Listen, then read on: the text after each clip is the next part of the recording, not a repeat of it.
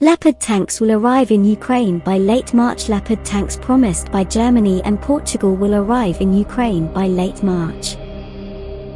I can tell you that I just learned that the 18 German Leopard 2A6 tanks and 3 Portuguese tanks will be arriving in Ukraine this month, according to German Federal Minister of Defense Boris Pistorius, who stated this on the sidelines of the EU defense ministers meeting in Sweden.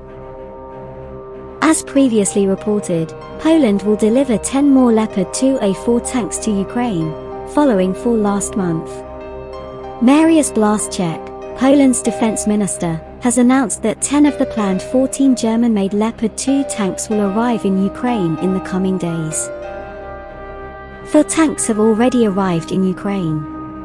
Another 10 will be sent to Ukraine. Mariusz Blaster stated this week Poland was the first Western ally to send contemporary Leopard tanks to Ukraine.